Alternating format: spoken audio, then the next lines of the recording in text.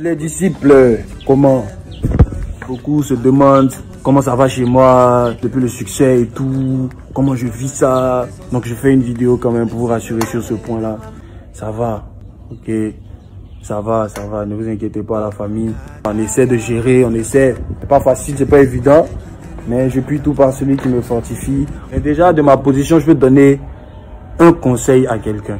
C'est de ne jamais compter sur l'argent le succès pour être heureux. Bon, c'est clair, le succès, on va pas cracher dans la soupe. Il y a des avantages, il y a des portes qui s'ouvrent, ça te fait rentrer de l'argent.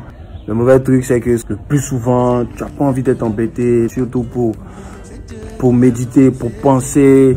Tu vois, donc souvent, tu vas en balade ta voiture, tu ne veux pas être dérangé, mais là, là, tu vas avoir un frère qui va venir.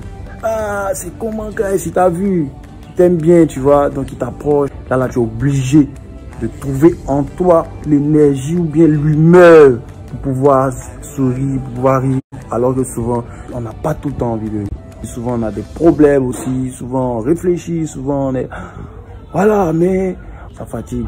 Tu veux pas refouler la personne, tu vois, parce que ça va la blesser et tout. Je me rappelle une fois, j'étais au Togo, on venait de rater le vol. Et il y a une tata qui est sortie sur moi.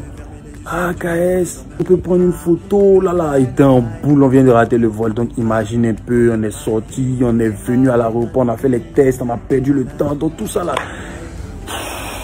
Il dit non, ma tata, c'est pas le moment. Après, ça m'a fait mal. Il a commencé à, la chercher maintenant dans le coin maintenant. À ce jour-là, il était trop énervé, il était fâché. Mais après, on a réparé, on a fait les photos tranquilles, j'ai expliqué un peu, donc euh, c'est passé. Vous voyez aujourd'hui, le Seigneur, c'est vrai, les disciples. Le Seigneur m'a accordé ça, un succès international. Donc, euh, je peux témoigner que c'est pas ça qui fait le bonheur en fait. C'est pas ça, c'est épuisant.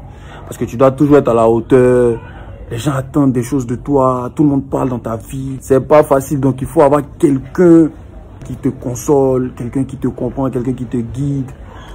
Voilà. Et c'est là où la relation avec Dieu joue le plus grand rôle. Voilà. Si tu n'as pas Dieu, tu fais comment? Pas tout le monde qui supporte ça. Ceux qui ont le succès, qui, n'ont pas Dieu, c'est pas évident. Les plus dépressifs sont des gens célèbres. La célébrité rend dépressif. La célébrité te fatigue quand tu, je sais pas gérer, l'orgueil monte, tu fais des choses, c'est bizarre. Mais nous, ouais, nous on n'a pas ce souci parce que c'est Dieu qui a commencé. Voilà, donc il y a quoi. En vie, c'est chic. Mais voilà, le deuxième volet, c'est l'argent. Avec le peu que j'ai, je peux garantir que l'argent et le bonheur sont deux choses différentes.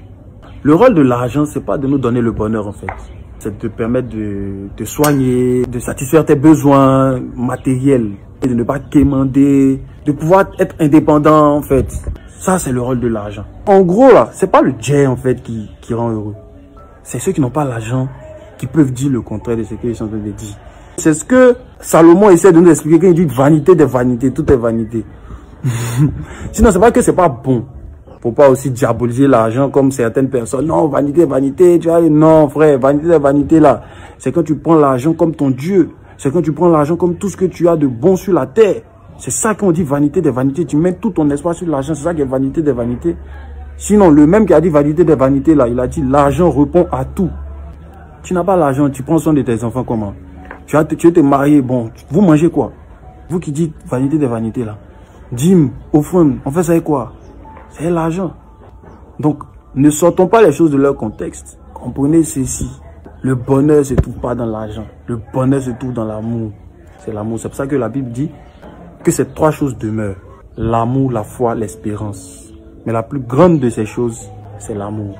Dieu a mis l'amour au-dessus de tout parce que c'est l'amour en fait, le secret du bonheur là. Ça se cache. On est ensemble.